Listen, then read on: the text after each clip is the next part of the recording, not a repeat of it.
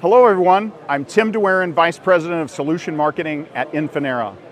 I'm here in sunny San Diego at the 2023 OFC conference. So what's hot at this year's OFC? The answer is coherent pluggable optics. Prior to the show, we issued two ICE-X 400 gig pluggables press releases. The first described a live field trial with Arelion where ICE-X pluggables were able to support 1,800 kilometers transmission at 400 gigabits per second between Dallas and Memphis. The second press release announced a collaboration with Corning where our 400 gig ICE-X pluggables were able to transit 2,400 kilometers over Corning's low loss TXF fiber.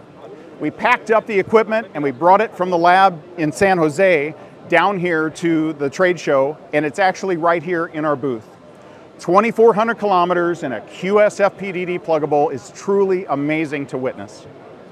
In addition to ICE-X ZR Plus point-to-point operation, Infinera also has a live multi-vendor point-to-multipoint demonstration.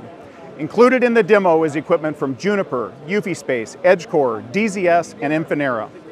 Multi-vendor operation really drives home the maturation of ICE-X pluggable optics intelligent management, and the ecosystem that is emerging to support them. The innovative DNA of Infinera is well captured by all these demonstrations in our booth, as well as our theme for this year's show, Turbocharge Your Network. We even got so excited about our message, we brought a real Formula One race car with driving simulator to the show. It's a huge hit with customers.